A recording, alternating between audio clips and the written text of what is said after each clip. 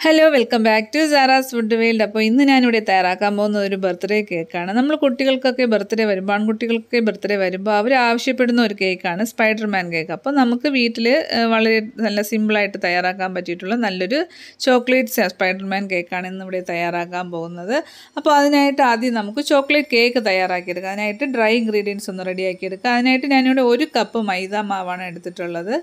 അപ്പോൾ അതിലേക്ക് ഞാനിവിടെ രണ്ട് ടേബിൾ സ്പൂൺ മൈദ മാവതിൽ നിന്ന് മാറ്റുന്നുണ്ട്. ഒരു കപ്പ് എടുത്തിട്ട് രണ്ട് ടേബിൾ സ്പൂൺ അതിൽ നിന്ന് മാറ്റുന്നുണ്ട്.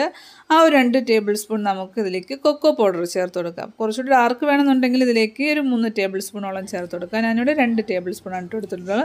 ഇനി ഇതിലേക്ക് ഒരു ടീസ്പൂൺ ബേക്കിംഗ് പൗഡറും പിന്നെ അര ടീസ്പൂൺ ബേക്കിംഗ് സോഡയും കൂടി ചേർത്ത് കൊടുത്തിട്ട് നന്നായിട്ടൊന്ന് മിക്സ് ചെയ്തെടുക്കാം അപ്പോൾ ആദ്യം നമ്മൾ ഡ്രൈ ഇൻഗ്രീഡിയൻസ് ആണ് എടുത്തിട്ടുള്ളത്. ഇതുപോലെ നന്നായിട്ടൊന്ന് മിക്സ് ചെയ്തെടുക്കണം. പിന്നെ ഇതിനെ ഒന്ന് നമുക്ക് രണ്ടോ മൂന്നോ പ്രാവശ്യം ഒന്ന് നന്നായിട്ട് നന്നായിട്ടൊന്ന് അരിച്ചെടുക്കണം. ഒരു അരിപ്പയിലൂടെ ഇതുപോലെ വേണം അരിച്ചെടുക്കാനുള്ളത്. എന്ന് വെച്ചാൽ നമ്മുടെ ഈ ഒരു കൊക്കോ പൗഡർ ഇട്ടതുകൊണ്ട് തന്നെ കട്ട കെട്ടി കിടക്കുക അതുകൊണ്ട് ആ ഒരു ബേക്കിംഗ് പൗഡറും ബേക്കിംഗ് സോഡ എല്ലാം ഒന്ന് മിക്സ് ആവാൻ വേണ്ടിയിട്ട് ഇതുപോലെ നന്നായിട്ടൊന്ന് സീവ് ചെയ്തെടുക്കാം. അപ്പോൾ അതൊന്ന് മാറ്റി വെച്ചതിന് ശേഷം നമുക്കിനി എഗ്ഗ് മിക്സ് ഒന്ന് റെഡിയാക്കി എടുക്കണം. അപ്പോൾ അതിനായിട്ട് ഞാനിവിടെ ഒരു ബൗളിലേക്ക് ഒരു നാല് മുട്ട എടുത്തിട്ടുണ്ട്. ഇതൊന്ന് നമുക്കൊന്ന് ബീറ്റ് ചെയ്തെടുക്കണം. അപ്പോൾ ഒരു ബൗൾ എടുക്കുമ്പോൾ അത്യാവശ്യം വലിപ്പമുള്ള ബൗൾ വേണം എടുക്കാനായിട്ട്. നാല് മുട്ടയാണ് എടുത്തിട്ടുള്ളത്. മീഡിയം ടു ഹൈ സ്പീഡിൽ ഇട്ടിട്ട് വേണം ഇതൊന്ന് ബീറ്റ് ചെയ്തെടുക്കാനുള്ള. അപ്പോൾ നമ്മളിത് ബീറ്റ് ചെയ്യുമ്പോൾ കുറച്ചുകൂടി എളുപ്പത്തിന് വേണ്ടിയിട്ട് നമ്മൾ ഈ ഒരു ബൗൾ ഒന്ന് ചെറുതായിട്ടൊന്ന് ചരിച്ച് കൊടുത്തിട്ട് നമ്മളിങ്ങനെ ബീറ്റ് ചെയ്തെടുക്കുകയാണെങ്കിൽ പെട്ടെന്ന് തന്നെ നമുക്ക് നല്ല ക്രീമിയായിട്ട് നമുക്ക് കിട്ടിക്കോളും.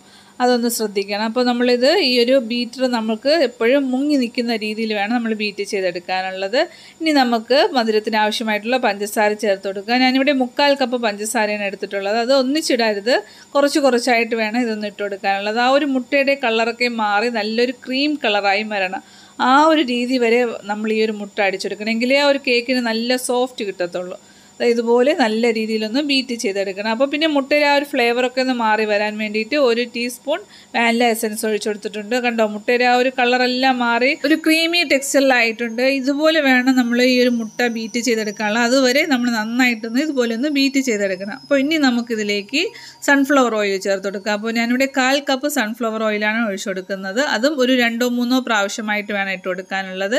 എണ്ണ ഒഴിച്ച് കഴിഞ്ഞാൽ ഒരുപാട് അങ്ങ് ബീറ്റ് ചെയ്യേണ്ട ആവശ്യമില്ല. ഒന്ന് ചെറിയൊരു സ്പീഡിൽ ഒന്ന് ബീറ്റ് ചെയ്തെടുത്താൽ മതിയാകും. ഇനി ഇതിലേക്ക് നമുക്ക് ഒരു കാൽ കപ്പ് പാലും കൂടി ഒഴിച്ചു കൊടുക്കണം. നല്ല വാം മിൽക്ക് വേണം ഇതിലേക്ക് ഒഴിച്ചു കൊടുക്കാനുള്ളത്. കാൽ കപ്പ് പാൽ. അപ്പോൾ അതൊക്കെ നമ്മുടെ ആ ഒരു മുട്ട എടുക്കുന്നതിനനുസരിച്ചിട്ടുള്ള തിക്നെസ്സിലായിരിക്കും നമുക്ക് കിട്ടുന്നത്. അപ്പോൾ നമ്മൾ തിക്നെസ് കുറവാണെന്ന് തോന്നുന്നുണ്ടെങ്കിൽ ലാസ്റ്റ് കുറച്ച് പാലും കൂടി ഒഴിച്ചാൽ മതിയാകും. ആദ്യം കാൽ കപ്പ് മാത്രം ഒഴിച്ചാൽ മതിയാകും. എന്നിട്ട് ഇനി നമുക്കിതിലേക്ക് നമ്മൾ നേരത്തെ എടുത്തു വെച്ചിരുന്ന ഒരു ഡ്രൈ ഇൻഗ്രീഡിയൻസിലേക്ക് ഇട്ട് കൊടുക്കണം. അതും നമ്മൾ ഒന്നിച്ചിട്ട് കൊടുക്കാൻ പാടില്ല. കുറച്ച് കുറച്ചായിട്ട് വേണം ഇട്ട് കൊടുക്കാനുള്ളത്. എന്നിട്ട് ഇതുപോലെ പതുക്കെ ഒരു ഫോർക്ക് വെച്ചിട്ടോ ഇതുപോലെ ഒരു പീറ്റർ വെച്ചിട്ട് ചെറുതായിട്ടൊന്ന് മിക്സ് ചെയ്ത് കൊടുത്താൽ മതിയാകും നമ്മൾ ഏത് ഡയറക്ഷനിലാണ് എടുക്കുന്നത് അത് ആ ഒരു രീതിയിൽ വേണം നമ്മളിതൊന്ന് മിക്സ് ചെയ്തെടുക്കാനുള്ളത്. അപ്പോൾ ഈ ഒരു മെത്തേഡിൽ വേണം നമ്മൾ മിക്സ് ചെയ്തെടുക്കാനുള്ളത്. ഒരുപാട് അങ്ങ് ബീറ്റ് ചെയ്താൽ പിന്നെ കേക്ക് നല്ല സോഫ്റ്റ് കിട്ടില്ല. അതുകൊണ്ട് ഒന്ന് പതുക്കെ ഇതുപോലെ വേണം ഒന്ന് മിക്സ് ചെയ്തെടുക്കാനുള്ളത്. അപ്പോൾ ഇതാ ഈ ഒരു തിക്നെസ്സിലാണ് നമുക്ക് കിട്ടിയിട്ടുള്ളത്. അപ്പോൾ സൈഡൊക്കെ നല്ല രീതിയിലൊന്ന് എടുത്തതിന് ശേഷം നമുക്കിനി ഇതൊന്ന് ബേക്ക് ചെയ്തെടുക്കണം.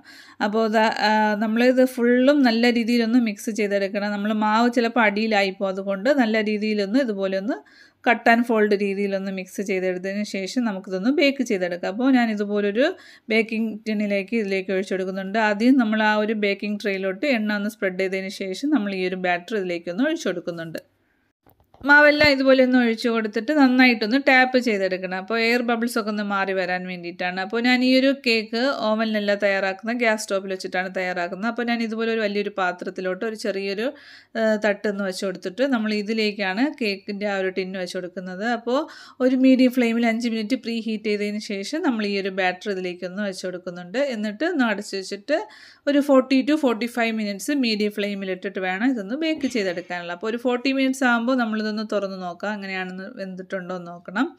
അല്ലെങ്കിൽ ഒരു ഫൈവ് മിനിറ്റ്സും കൂടി വെച്ച് ഫോർട്ടി ഫൈവ് മിനിറ്റ്സ് ഒന്ന് ബേക്ക് ചെയ്താൽ മതിയാകും. അപ്പോൾ ഒരു മീഡിയം ഫ്ലെയിമിൽ വേണം ഇതൊന്ന് വയ്ക്കാനുള്ളത് അപ്പോൾ ഒരു ഫോർട്ടി ഫൈവ് മിനിറ്റ്സ് കഴിഞ്ഞ ശേഷം ഞാനിതൊന്ന് തുറന്ന് നോക്കുന്നുണ്ട്.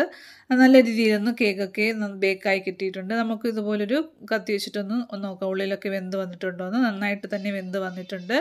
അപ്പോൾ ഇത് അതിൽ നിന്ന് ഞാനിത് ഡിമോൾഡ് ചെയ്ത് എടുത്ത് വെച്ചിരിക്കുന്നതാണിത് കേക്ക് നല്ല സോഫ്റ്റ് ആയിട്ട് തന്നെ വന്നിട്ടുണ്ട്. നമ്മൾ എപ്പോഴും കേ എഗ്ഗ് ബീറ്റ് ചെയ്യുമ്പോൾ നല്ല രീതിയിലൊന്ന് ബീറ്റ് ചെയ്തെടുക്കുകയാണെങ്കിൽ കേക്ക് നല്ല സോഫ്റ്റ് ആയിട്ട് തന്നെ നമുക്ക് കിട്ടിക്കോളും. അപ്പോൾ അതൊന്ന് തണുക്കാൻ വേണ്ടിയിട്ടൊന്ന് മാറ്റി വയ്ക്കാം ഒരു സമയം കൊണ്ട് നമുക്ക് കേക്കിനുള്ള ക്രീം ഒന്ന് റെഡിയാക്കി എടുക്കണം. അപ്പോൾ ഞാനിവിടെ ഒന്നര കപ്പ് വിപ്പിംഗ് ക്രീമാണ് എടുത്തിട്ടുള്ളത്. അതിന് നമുക്കൊന്ന് ബീറ്റ് ചെയ്തെടുക്കാം. ഒരു മീഡിയം ടു ഹൈ സ്പീഡിലിട്ടിട്ട് ഒരു എട്ട് പത്ത് മിനിറ്റോളം നമുക്ക് നന്നായിട്ടൊന്ന് ബീറ്റ് ചെയ്തെടുക്കാം. അപ്പോൾ നമ്മൾ ആ ഒരു ക്രീമി ടെക്സ്റ്റ് ആകുന്നതുവരെ നമുക്കിതൊന്ന് ബീറ്റ് ചെയ്തെടുക്കണം.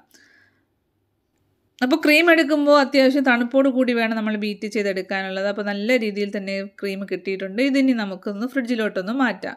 അപ്പോൾ നമ്മൾ കേക്ക് നല്ല തണുത്ത് വന്നിട്ടുണ്ട്. ഇനി നമ്മൾ ഇതിനെ ഒന്ന് കട്ട് ചെയ്തെടുക്കണം. അപ്പോൾ ഞാനിവിടെ രണ്ടായിട്ടാണ് കട്ട് ചെയ്തെടുക്കുന്നത്. അപ്പോൾ രണ്ടോ മൂന്നോ ലെയറായിട്ട് നമുക്ക് കട്ട് ചെയ്തെടുക്കാം. ഞാനിവിടെ രണ്ട് ലെയറായിട്ടാണ് തയ്യാറാക്കുന്നത്. അപ്പോൾ ഇതുപോലൊരു കത്തി വെച്ചിട്ട് നല്ല രീതിയിൽ ഒന്ന് കട്ട് ചെയ്തെടുക്കണം. കേക്ക് നല്ല സോഫ്റ്റ് ആയിട്ട് തന്നെ കിട്ടിയിട്ടുണ്ട്. ഞാനിവിടെ രണ്ട് ലെയറായിട്ടാണ് കട്ട് ചെയ്യുന്നത്. അപ്പോൾ ഇനി നമുക്ക് ഇതൊന്ന് സോ കുറച്ചുകൂടി നല്ല സോഫ്റ്റ് ആവാൻ വേണ്ടിയിട്ട് നമുക്കിതൊന്ന് കുറച്ച് സിറപ്പും കൂടി ഇതിലേക്കൊന്ന് ഒഴിച്ചു കൊടുക്കാം. ഞാനിവിടെ ഷുഗർ കുറച്ച് പഞ്ചസാരയും കുറച്ച് വെള്ളവും കൂടി ഒന്ന് മിക്സ് ചെയ്തിട്ട് ഇതിലേക്കൊന്ന് ഒഴിച്ചു കൊടുക്കുന്നുണ്ട്. അപ്പോൾ ഈ ഒരു വെള്ളത്തിന് പകരം പാൽ വേണമെങ്കിലും ചേർത്ത് കൊടുക്കുക ഞാനിവിടെ വെള്ളം തന്നെയാണ് യൂസ് ചെയ്യുന്നത്.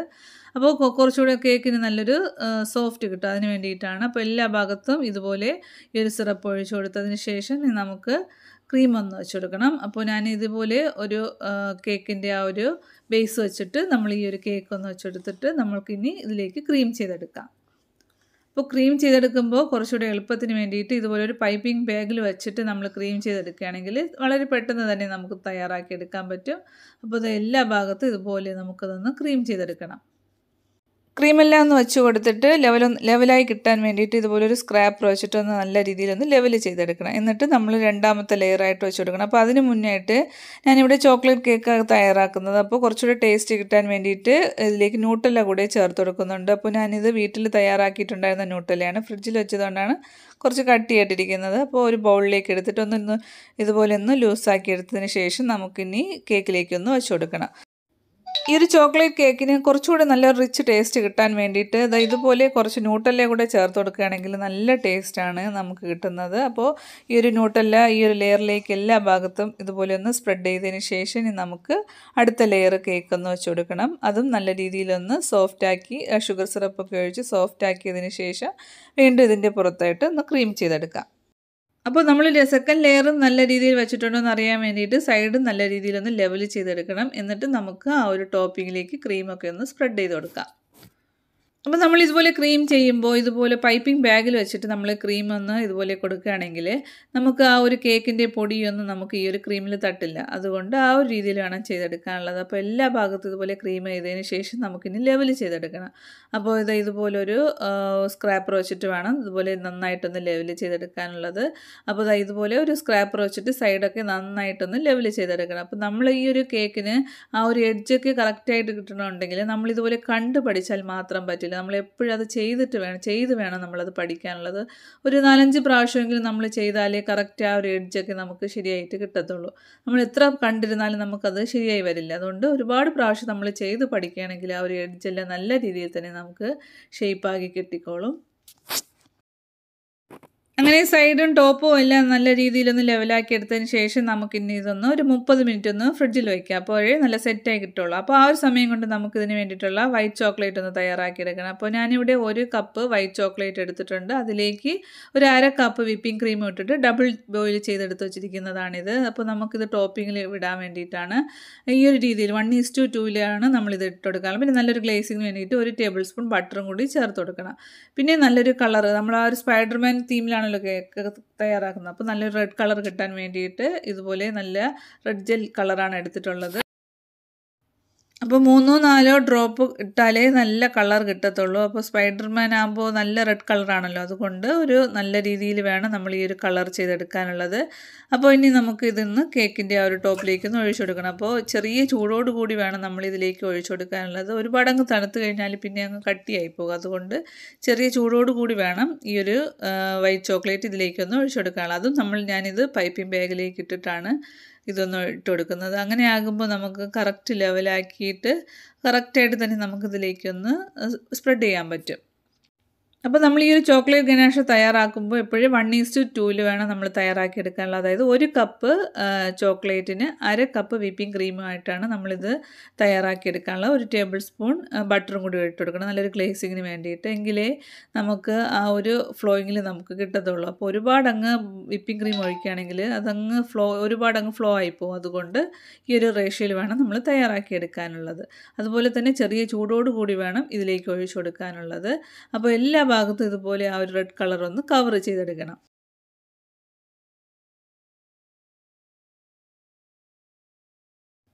അങ്ങനെ ഈ ഒരു ചോക്ലേറ്റ് ഗണാഷ എല്ലാം ഒഴിച്ചെടുത്തതിന് ശേഷം ബാക്കിയിരിക്കുന്ന ഒരു എക്സസ് ആയിട്ടുള്ള ആ ഒരു ചോക്ലേറ്റ് നമുക്ക് ഇതുപോലൊരു സ്ക്രാപ്പർ വെച്ചിട്ട് എടുത്ത് മാറ്റാവുന്നതാണ്. അല്ലെങ്കിൽ എല്ലാ ഭാഗത്തും അതങ്ങ് സ്പ്രെഡായി പോകും. അതുകൊണ്ട് ഇതുപോലെ ഒന്ന് മാറ്റണം. നമ്മൾ ചൂടോട് അപ്പോഴും തന്നെ അത് ചെയ്യണം. അല്ലെങ്കിൽ അത് പെട്ടെന്ന് കട്ടിയായി പോകും. പിന്നെ ആ ഒരു സ്പൈഡർമാൻ വെബ് വരയ്ക്കാൻ വേണ്ടിയിട്ടൊന്ന് ലെവൽ ചെയ്തെടുക്കുക ആദ്യം സ്കെയിൽ കൊണ്ടൊന്ന് മാർക്ക് ചെയ്തതിന് ശേഷം നമുക്കിനി ഇതിലേക്ക് ഡാർക്ക് ചോക്ലേറ്റ് ഒഴിച്ചു കൊടുക്കണം. അപ്പോൾ ഡാർക്ക് ചോക്ലേറ്റും ഡബിൾ ബോയിൽ ചെയ്തെടുത്ത് വെച്ചിരിക്കുന്നതാണിത്. അതിലേക്ക് വിപ്പിംഗ് ക്രീം ഒന്നും ഇട്ട് കൊടുക്കണ്ട. ഡാർക്ക് ചോക്ലേറ്റ് മാത്രം ഇട്ടിട്ടൊന്ന് ഡബിൾ ബോയിൽ ചെയ്തിട്ട് ഇതിലേക്കൊന്ന് വെച്ച് കൊടുത്തിട്ട് പൈപ്പിംഗ് ബാഗിലേക്കൊന്ന് വെച്ച് കൊടുത്തിട്ട് ഇത് ഇതുപോലെ ഒരു വെബ് ഒന്ന് വരച്ചു കൊടുക്കണം. അപ്പോൾ നമ്മൾ വെബ് വരയ്ക്കുമ്പോൾ ഇതുപോലെ സ്കെയിൽ വെച്ചിട്ടൊന്ന് മാർക്ക് ചെയ്തെടുക്കുകയാണെങ്കിൽ നല്ല രീതിയിൽ നമുക്ക് കിട്ടിക്കോളും. ആ ഒരു എട്ട് ലൈനായിട്ടൊന്ന് വരച്ചിട്ട് വേണം നമ്മളിതിലേക്കൊന്ന് വെബ് ചെയ്തെടുക്കാനുള്ളത്. അപ്പോൾ ഈ ഒരു ഡാർക്ക് ചോക്ലേറ്റ് ഗണാശ തയ്യാറാക്കുന്നത് നമ്മുടെ സാധാരണ കുക്കിംഗ് ചോക്ലേറ്റ് ഉണ്ടല്ലോ. അതൊന്ന് ഡബിൾ ബോയിൽ ചെയ്തെടുത്ത് ഇത്. അതും ചെറിയ ചൂടോട് കൂടി വേണം ഇതിലേക്കൊന്ന് ഒഴിച്ചെടുക്കാനുള്ളത്. അപ്പോൾ നമ്മൾ ആദ്യം ആ ഒരു റെഡ് ചോക്ലേറ്റ് ഗണാശ ഇതിലേക്ക് ഒഴിച്ചിട്ട് ഒന്ന് ഫ്രിഡ്ജിൽ വെച്ചൊന്ന് സെറ്റ് ചെയ്തതിന് ശേഷം മാത്രമേ നമ്മൾ ഇതിലേക്ക് വെബ് ചെയ്യാൻ പാടുള്ളൂ. ആദ്യം ഞാൻ അതൊന്നും പറഞ്ഞില്ലായിരുന്നു. അപ്പോൾ നമ്മൾ റെഡ് ചോക്ലേറ്റ് ഇട്ടിട്ട് ഒന്ന് ഗണാശയെല്ലാം ഒഴിച്ചെടുത്തിട്ട് ഫ്രിഡ്ജിൽ വെച്ചിട്ട് ഒരു പതിനഞ്ച് മിനിറ്റ് ഒന്ന് സെറ്റ് ചെയ്തതിന് ശേഷം മാത്രമേ ഇതിലേക്ക് വെബ് ചെയ്യാൻ പാടുള്ളൂ. അപ്പോൾ ആദ്യം ലൈൻ വരച്ച് വരച്ചതിന് ശേഷം പിന്നെ ഇതിലേക്ക് ഇത് ഇതുപോലെ ഈ ഒരു ഡിസൈൻ ചെയ്ത് കൊടുക്കണം. അപ്പോൾ വളരെ സിമ്പിളാണ് നമുക്ക് ഈ ഒരു രീതിയിൽ നമ്മൾ ഫോളോ ചെയ്യുകയാണെങ്കിൽ നമുക്ക് വീട്ടിൽ തന്നെ ഇതുപോലെ കുട്ടികൾക്കൊക്കെ ബർത്ത്ഡേ കേക്ക് നമുക്ക് തന്നെ തയ്യാറാക്കി എടുക്കാൻ പറ്റും.